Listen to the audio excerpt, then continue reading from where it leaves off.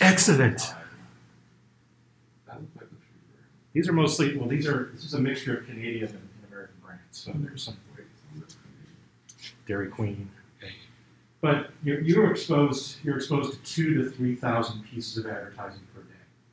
The average American is exposed to two to 3,000 pieces of advertising across the different media. So we are, it's amazing that you can, you can recognize any of them, right? But we are cognitively programmed or conditioned, I should say, not programmed, but conditioned to recognize these and to have potentially an emotional response to something, right? So A&W reminds me of growing up in northern Michigan. Uh, uh, some of these remind you of, of, of some key types of foods or events or things. I mean, this, this goes back, you know, that's the Winter Olympics from, from 10 years ago, but, you know, key, key events in history, athletic history, or uh, uh, but even but the simpler the logo, there, there's still an attachment to it. That's that's how powerful branding can be because you can have a lot of different positive or even negative attributes attached to one icon or one logo. And so um, that's the power of branding, that, that it communicates beyond its name, beyond its logo.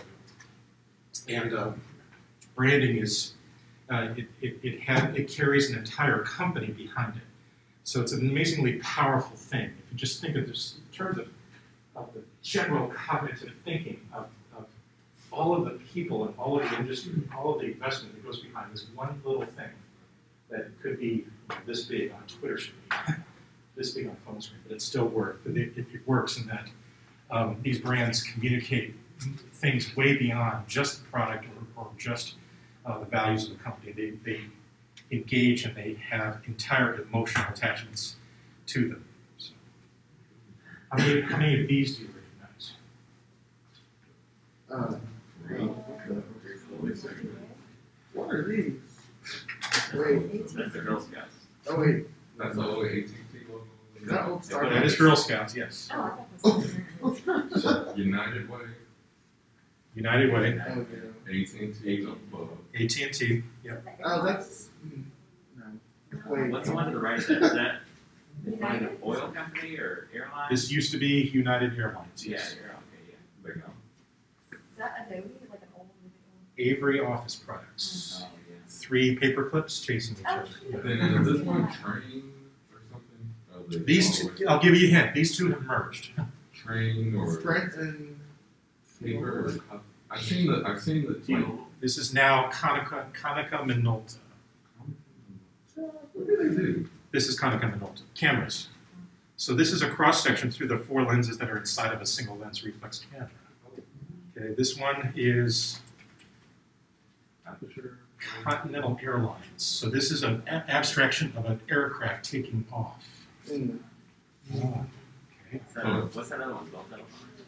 Bell Telephone? Yes. The Bell, Bell, the Bell system, yes. What- became American, American Telephone and Telegraph, AT&T, under the Unified Bell system. So Southern Bell, Northern Bell, Michigan Bell, all of them unified under, under what we used to call Ma Bell. Um, in the Tribe Called Quest album, they refer to it as Ma Bell. no, I'm sorry, that was a Beastie Boys album. Ma Bell, you got the ill communication. Ma Bell, you got the ill communication. Okay, all right. So we, we worked in a Beastie Boys reference, which is excellent. Okay. Saul Bass was a graphic designer in the 1960s and 70s that, that got well, very well known for all of these different brands. So there's Continental. So again, an abstraction of an aircraft taking off. Rockwell, uh, that's an abstraction of a rocket taking off.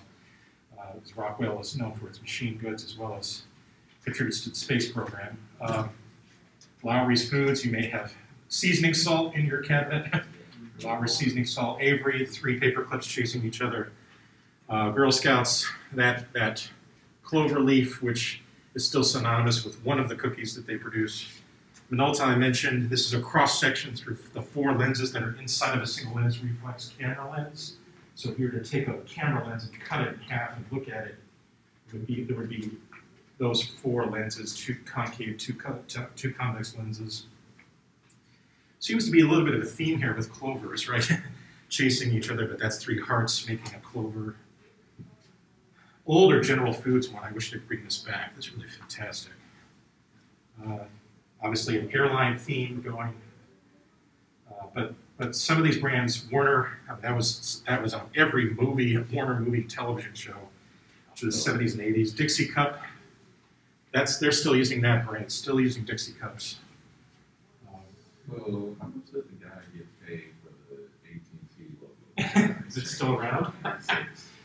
Like looking at eighty-three and then ninety-six, and like, how much did that person get paid? a, a, a branding agency gets paid significant amounts for this. I mean, if you saw it, uh, I think the first season of Mad Men is very synonymous with that, with, with the branding culture and advertising. But And how- Like Ball State spent like half a million, or four hundred thousand for the reply, and everybody was like, Yes. "You spent that much for it." No, each time Ball State rebrands, which is once about every 10 years, it's anywhere from 150 grand to 250 grand to up to 500 grand. Yeah. We'll For do it. branding. Right. People all fit. Right. So we'll split that. Well, yeah, I mean, that, it comes with that, it comes with that, that's the full package. I mean, that, that involves the, the first sets of ads, that involves video, that involves web, that involves print. I mean, it involves a lot of that branded package that, that's associated with it. Yeah, but, but it, it's, it's several thousand dollars, yeah, several thousand dollars. all the way down to wash your shirt. Yes, exactly. Uh, brands do evolve, sometimes they don't. It's interesting to look at some brands through history and see how much they change or how little they change. So it's amazing how you can connect Goodyear all the way through this history. But what exactly is that? What is this thing? A little like Hermes. Yes, it's Mercury's. Yeah, Hermes or Mercury. It's it's it's it's the winged feet of Mercury or Hermes. Yes. Okay, so that that is something that has not changed, um, but has evolved with fonts and colors throughout the years. How did Nike get started? The, the, the. Well, the company. It got started with a track coach at University of Oregon making shoes with a waffle iron. So, but who is Nike?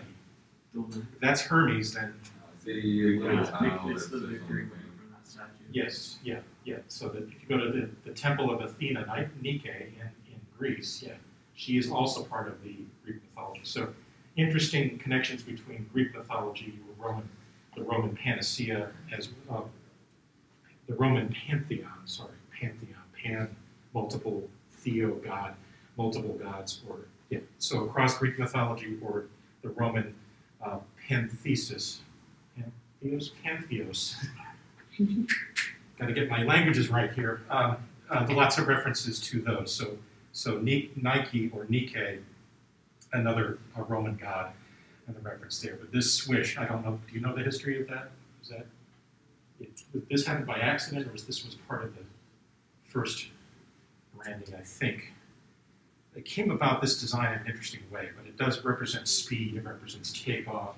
So it's very, I think, connected to some of the ones that I think work for the airlines and things like that. It's an abstraction of taking off or abstraction of acceleration. But it's amazing how little or how much a brand has changed. And it's, it's interesting when they brought it back uh, how, uh, how it worked.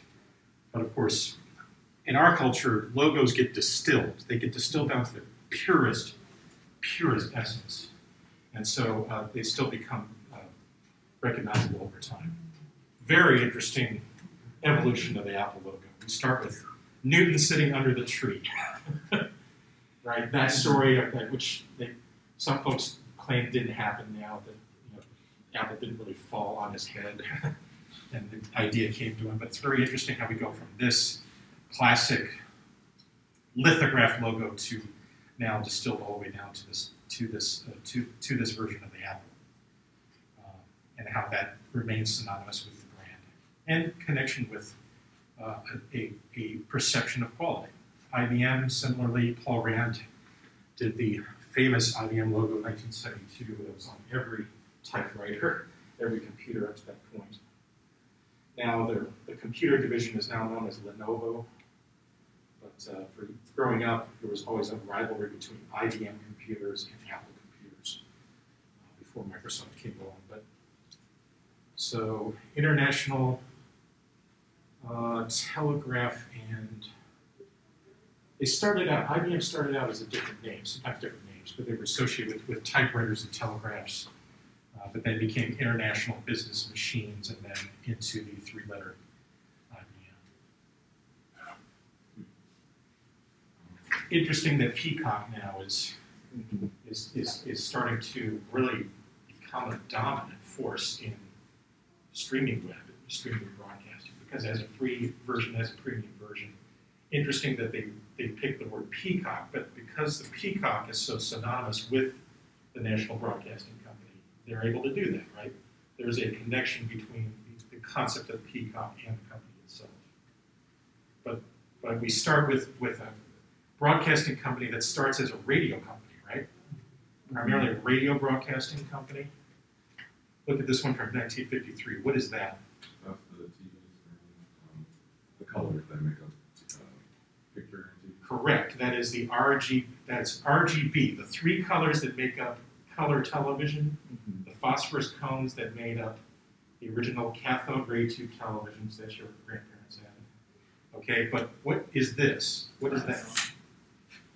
What is what? Oh, it's, a- yeah, it's like a xylophone. It's a xylophone mallet, and those are the three three notes. N B C. Oh my god. Okay? So there's a connection there to the sound of NBC and its branding on the radio, making the bridge to color television in 1953. Okay? From for radio and black and white television to color television. The peacock comes later because the peacock to them represented that we are now broadcasting in full color, and these are all the colors that you can see on your screen the peacock, and, and this basically becomes like a half color wheel um, that, that just took off on the screen. So, uh, so peacock becomes represent, representational of the different colors that NBC was broadcasting in. But it's interesting, they start with the three colors, but still use this sonic reference of the three chords of the NBC uh, uh, call sign, if you will, right, which is still part of their television broadcasting as well. They still use those three notes with.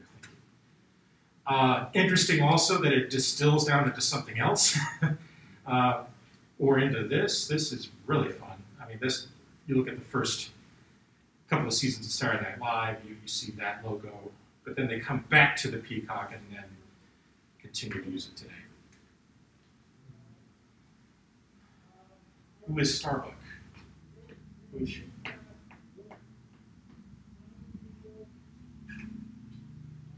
She is a siren.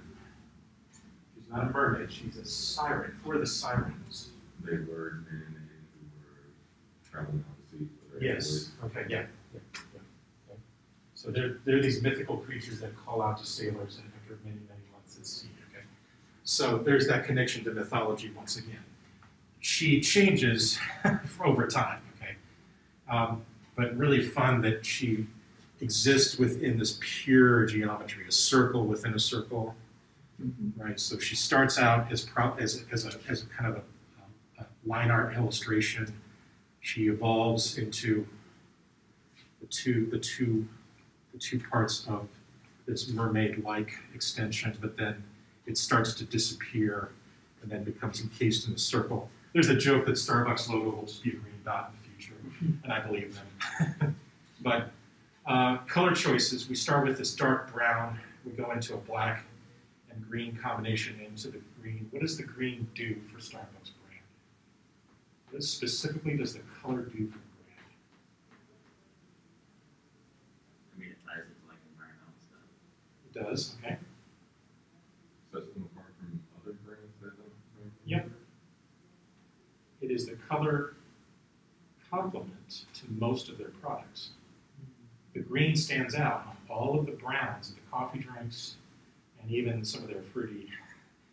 When I was a kid, a frappuccino was called a milkshake, um, but the green is the color complement of most of their drinks. The tannic, the tannic browns of the tea, the, the tannic browns of the coffees, the green stands out against brown.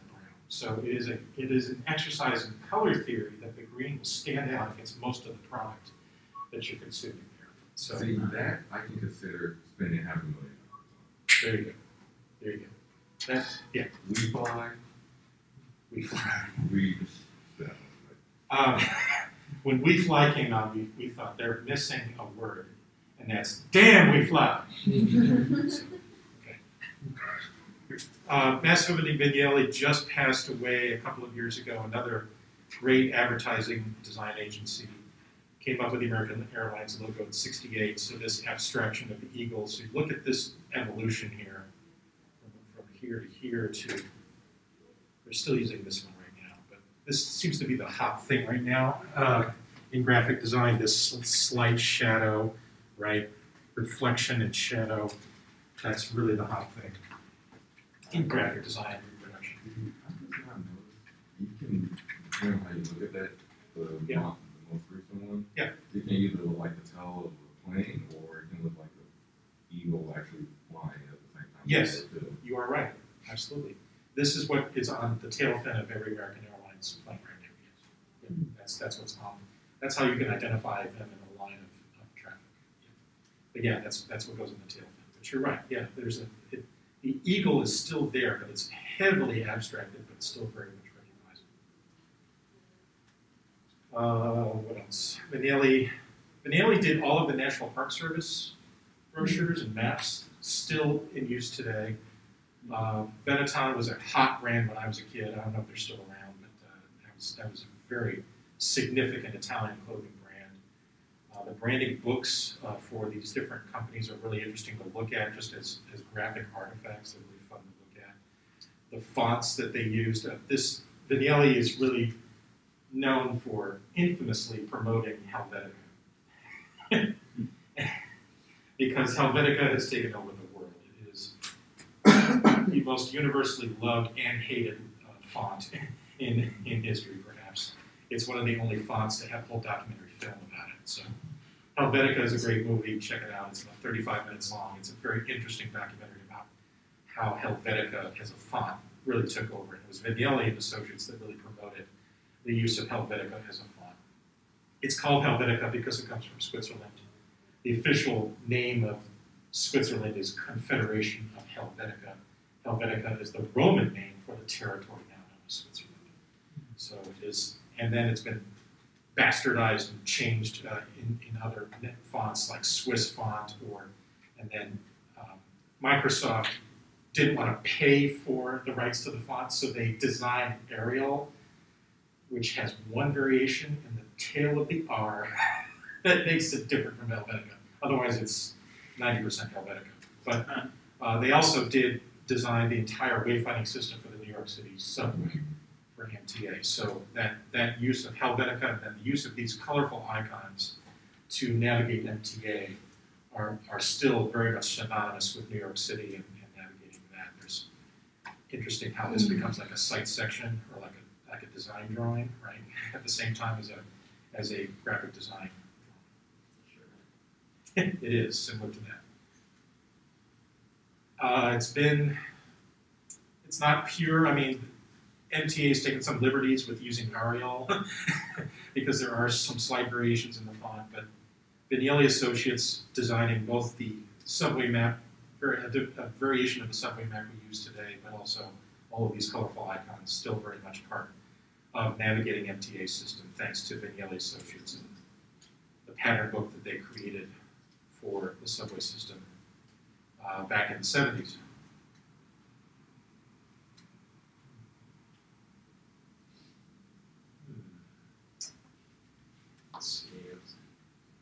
Some interesting uses of negative space. So CAC,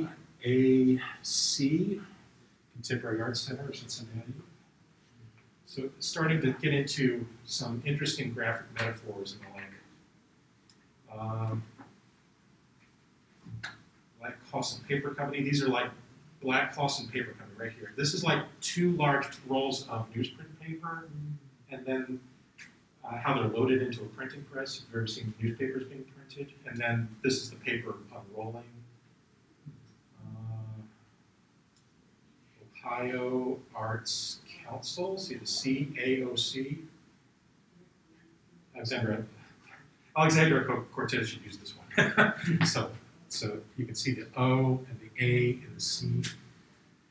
So some interesting use of, of abstraction and negative space uh, in the 1970s and 1980s. Really a great, great age of graphic design. use of simplicity and negative space. See, see, here's the mother elephant, there's the calf. See how they're connected there? I like this one very much. Um, It's kind of a derivative of Elmer's glue. I think that might be one of the original Elmer's glue. This one's very cool too, but yeah, this is probably one of my favorites right there. But again, use of simplicity in negative space in logos. Anybody's been to the National Zoo in Washington, kids can identify with those, these logos very well. So they, they have an almost intuitive sense of navigation when they have a picture associated with it because, you know, reading and verbal skills may not be advanced, but a two-year-old can know exactly where the pandas are and know how to get there pretty quickly.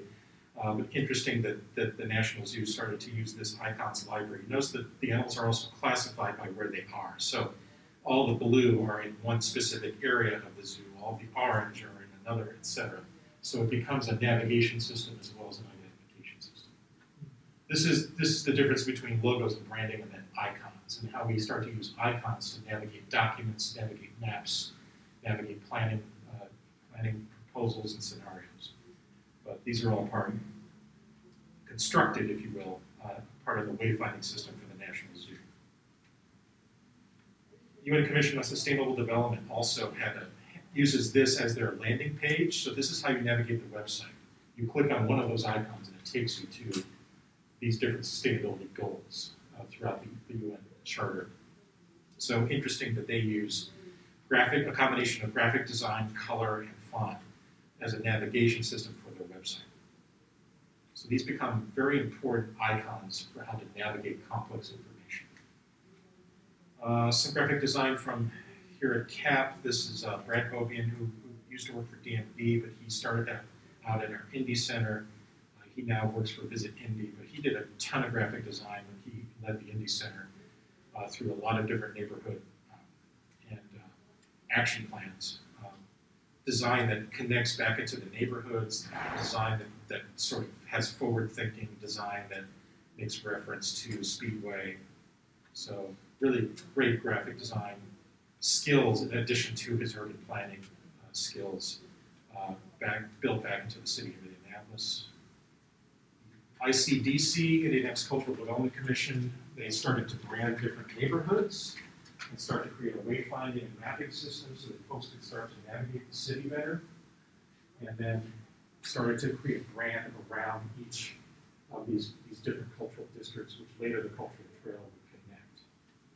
So color choice, font choice, tiny references to water, okay, or um, I think this is a connection sort of to the Art Deco Theater, Theater. Um, the angle of Mass Ave as it goes to northeast. Yeah, those these subtle things are built in um, into the brand. But then, what I love about this package is that the color scheme works for the web page, publications and brochures, events and calendars. Plus, when you get to the neighborhood off the cultural trail, there's a map and signage that is all the same color, so you know exactly how to orient yourself to the neighborhood once you come off the cultural trail. System works very, very well in terms of brand and identity across print, web, and physical wayfinding. Let me repeat that. The system works really well across print, web, and physical wayfinding. That's the connection between logos, icons, and physical wayfinding of the neighborhood. And then, yes, they paid for these catchy phrases. I'm not kidding, this is part of it. Coming up with these very clear themes is part of that whole package. Close in, far out. 45 degrees from ordinary. West of Main Street. I mean, man, you paid for this. this is definitely part of it. FedEx changing over time. Fonts that were designed primarily on drafting boards using compasses and T squares. And then later on, uh, the designer came up was just playing with fonts one day and found out that this was the one. There's an arrow right there in the negative space. Do you see it? So it's hidden, but it's intuitive in that part of your brain sees it, part of your brain doesn't see it at first. But once it's once you point out point it out, you, you see it over and over and over again. So this is this is almost uh, not extrasensory. It's almost subliminal in that this notion of moving forward becomes synonymous with the brand. The graphic designer found it by accident. He was just playing with fonts one day and he said, Oh my gosh, there's an arrow between the E and the X. So that now will be part of FedEx for the rest of the rest of humanity, perhaps, once they found that out. Just that notion of a subliminal arrow between in the negative space between the E and the X. Uh, hockey logos are interesting because their fans obsess over them. they obsess over the history and stories behind it. Okay, so let's unpack this a little bit. Color scheme for the Islanders comes from the New York City flag, which comes from the Dutch royal colors. All right, so so so Manhattan was bought for a few beads and a, and uh, right from from the from the Native Americans, and so this color scheme becomes synonymous with Manhattan and New York City. The New York Knicks adopt the color scheme. The New York Islanders adopt the color scheme. That's why orange, white, and blue are synonymous with those two teams. You've got a geographic reference with, with the with the shape of Long Island. So that's Long Island, and New Yorkers refer to the Islanders as the Long Island Islanders because the Rangers are more the five boroughs, and the Islanders are more associated with with Long Island. They're they play in Brooklyn, they play in Nassau County, they're about to move to Belmont. But at any rate, there is a geographic reference worked into the logo. There are four stripes on the stick representing four Stanley Cups. So those little messages are connected and built into logos and systems as well. So they won four Stanley Cups in the late 70s and early 80s, and that's built in. Okay. Look at the outline first. What do you see?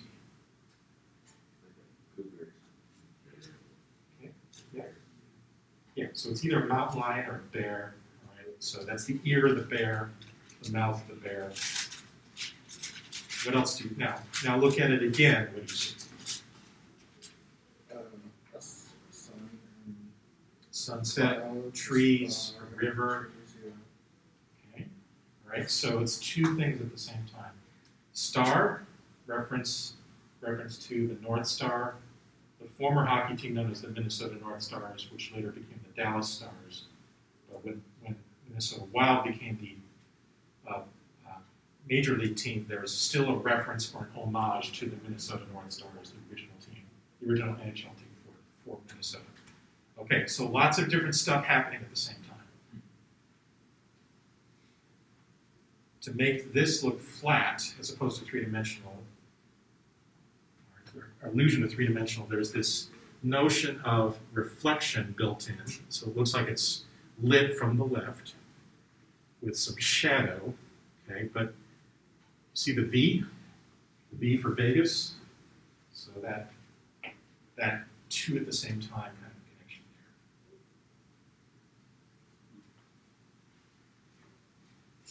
There's an H for Hartford in gray.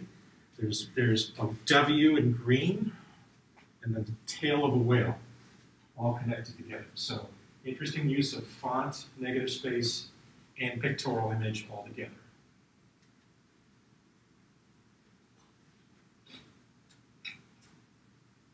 So the Predators, one of the newest teams, they found a saber-toothed tiger skeleton fossilized near Nashville. That became the mascot, just from one one archaeological dig. So sometimes it's one thing that leads to an entire brand or an identity. Yes. So what is that style of like graphic design when it comes to like sports and mascots? Because it always looks like it has like the same type of Yeah. like formula, but like different colors. There is. Yeah, it, do- it does. Yes. Yeah, and always kind of a forward motion, typically from left to right, Because in the West, we, we, we read from left to right.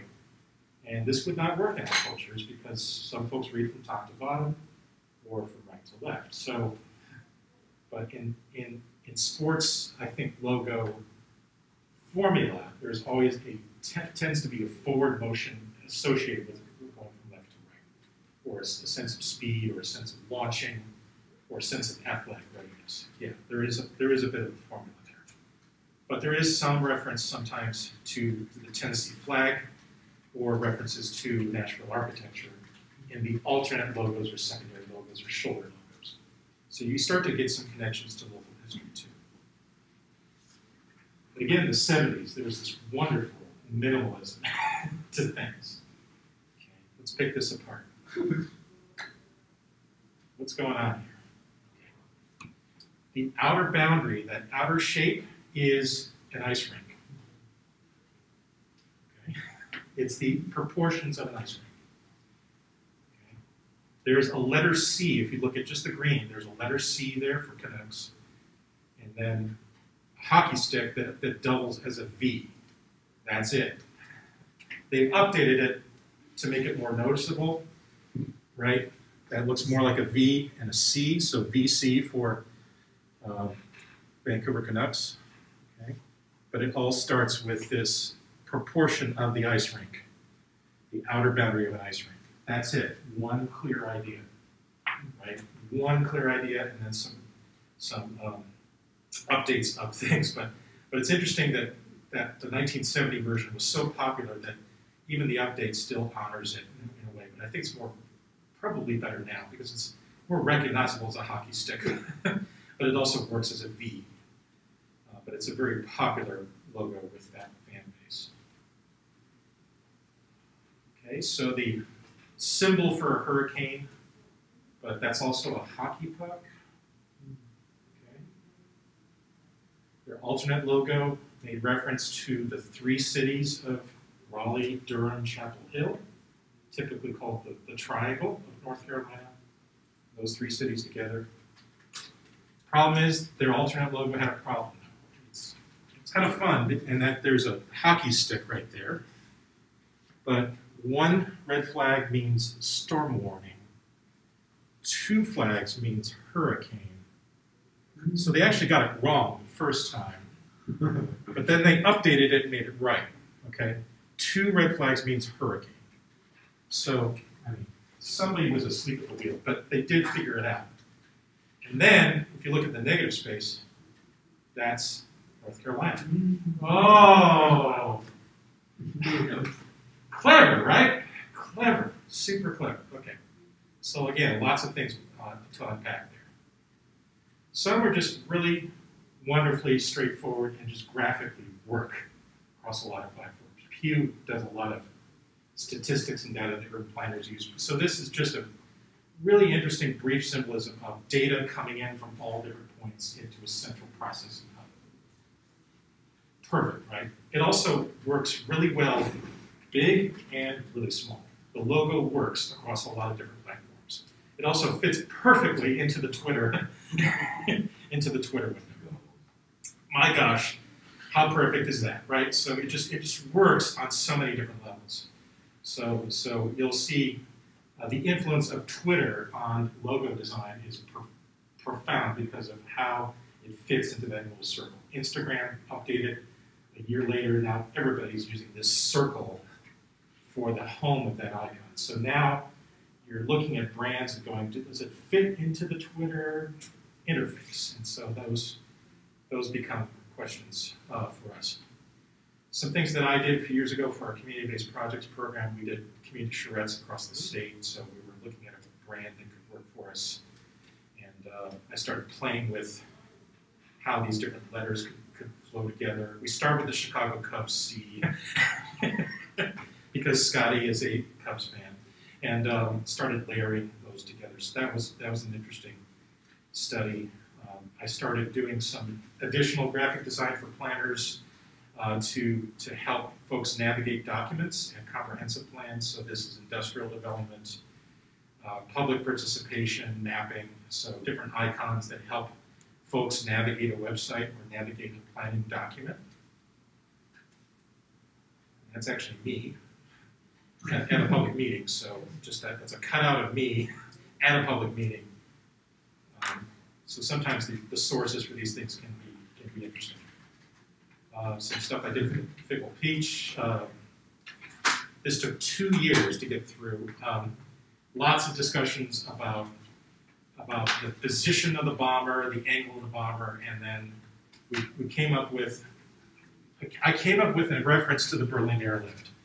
Instead of bombing, let's let's act like we're delivering.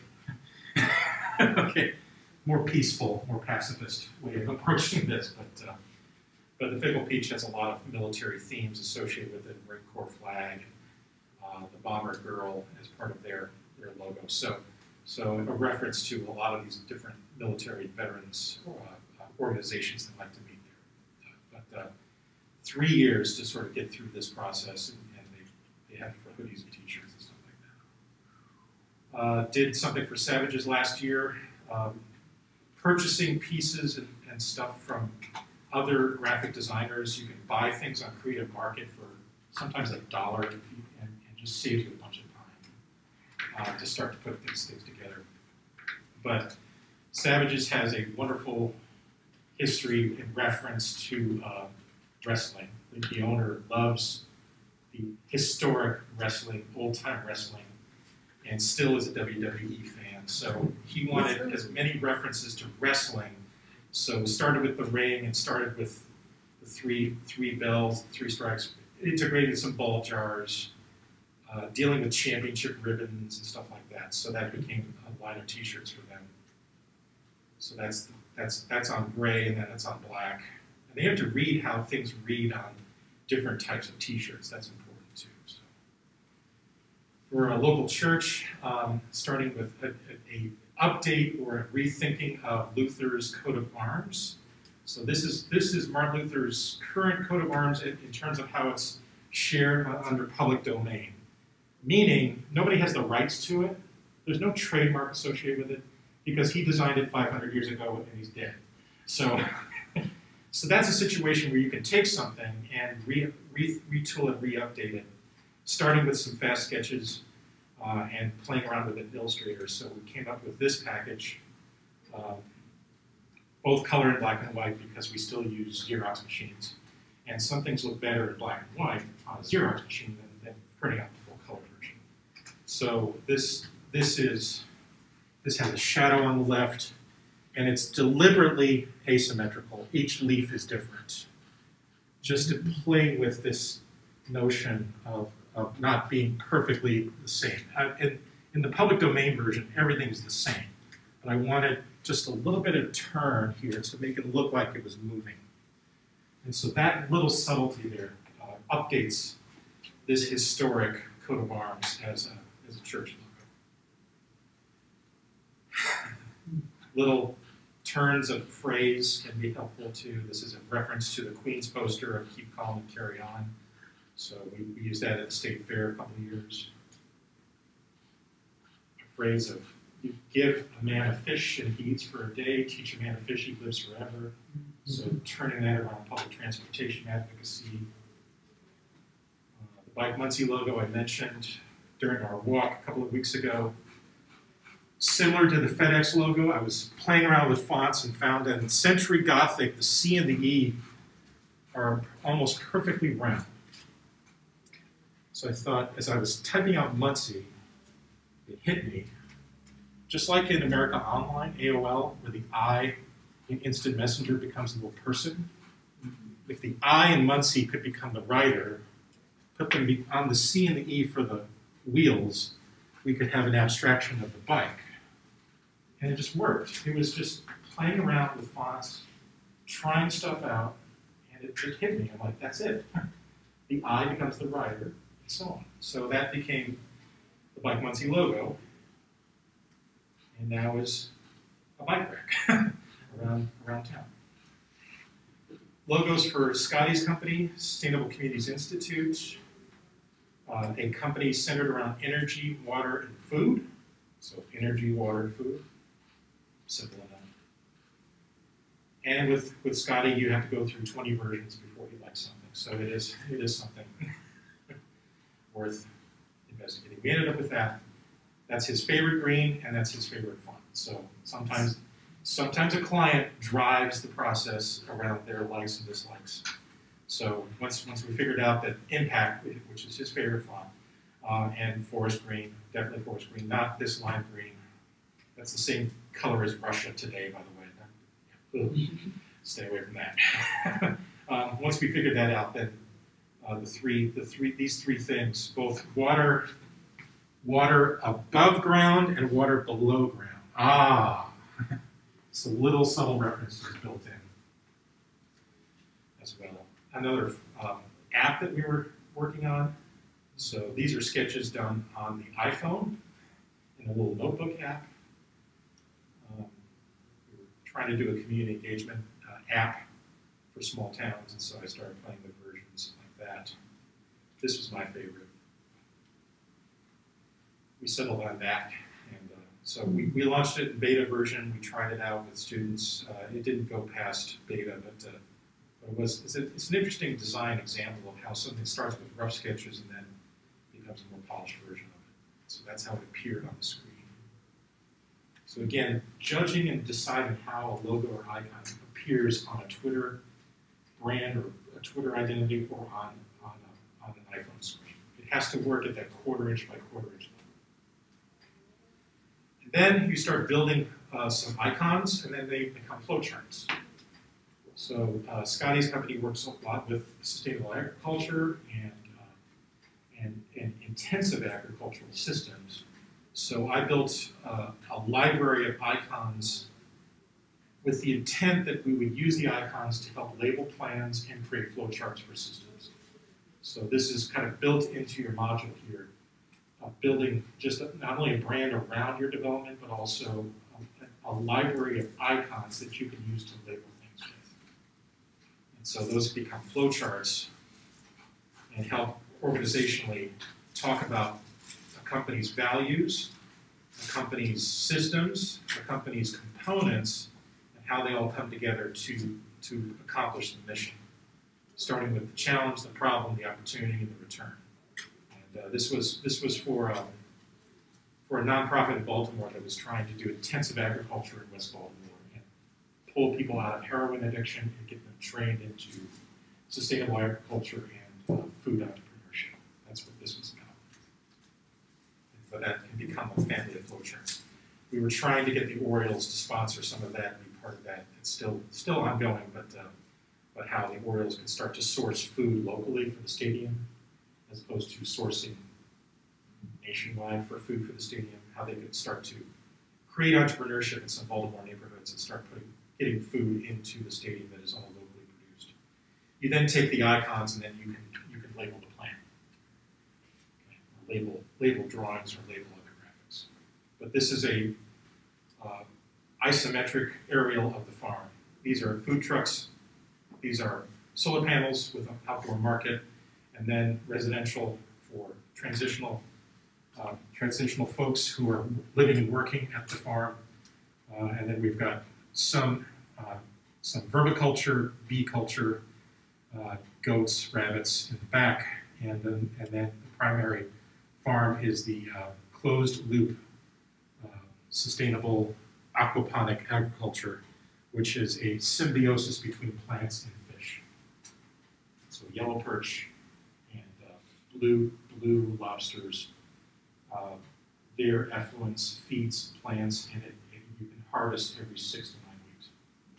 So, so produce many many tons of food in an indoor atmosphere uh, that can be injected into a lot of different contexts that don't have a lot of water.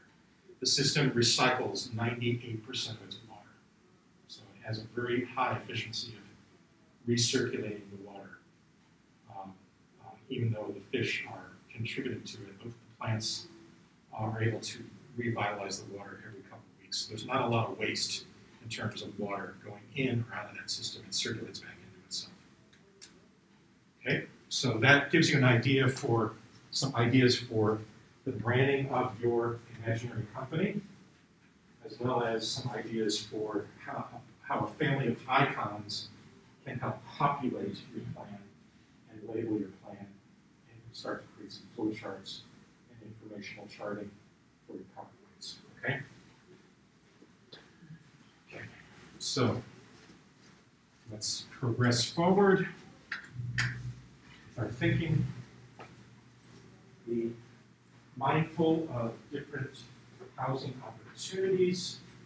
There's a whole portion on Canvas devoted to missing middle housing, including an electronic version of the book, a link to the author's webinar.